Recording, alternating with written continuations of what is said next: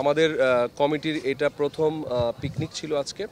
এবং আমরা চেষ্টা করেছি একটা নিত্য মানে একটু নতুন কিছু করার জন্য। এর মধ্যে আমরা একটা স্পটটা সবাই বলছে খুব ভালো হয়েছে। আশা করছি আপনাদের কাছেও ভালো লাগছে।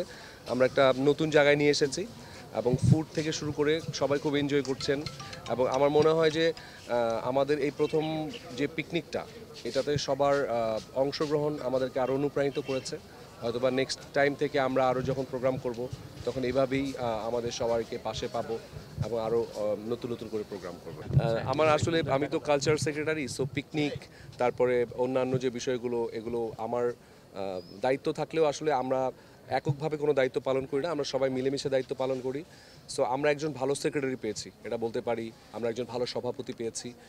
এবং সবচেয়ে মজার ব্যাপার হচ্ছে যে দেখেন এই যে ডন ভাই ডন ভাই কিন্তু কমিটিতে নেই। কিন্তু তারপরে উনি স্বতঃস্ফূর্তভাবে রাত জেগে উনি আমাদের সাথে যেভাবে পরিশ্রম করে কাজ করেছেন মানে আমাদের প্রতি সবার একটা ভালোবাসা। সো আমরা আমরা কিন্তু একুশ জন টিমই না একুশ জনের বাইরে অনেকে আছেন যারা আমাদেরকে সাপোর্ট দিয়েছেন। সো আমার মনে হয় যে সবাই মিলেমিশে এটা আমার দায়িত্ব থাকলেও আমরা সবাই মিলেমিশেই কাজ করছি আসলে।